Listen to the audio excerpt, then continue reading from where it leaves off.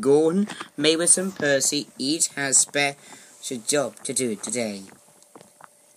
Pulling the express, slate, such a slate trucks at the quarry, and taking the mail coach. Can you guess which job would make Gordon feel really useful?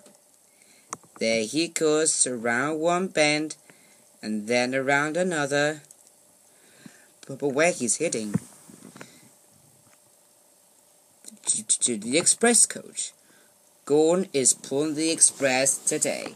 It's the job that makes him feel really useful. What about Mavis? Which job will make her feel really useful?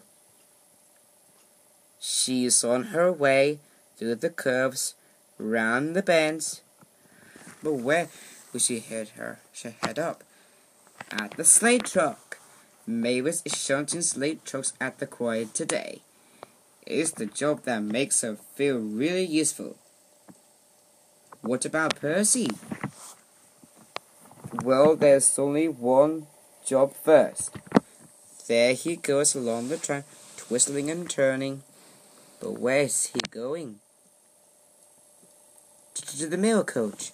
Percy is taking the mail today. It's Percy's favorite job. It makes Percy feel really useful. May Mavis, Percy, and Gorn are, are each doing the jobs that makes them feel really useful. Well done, everyone.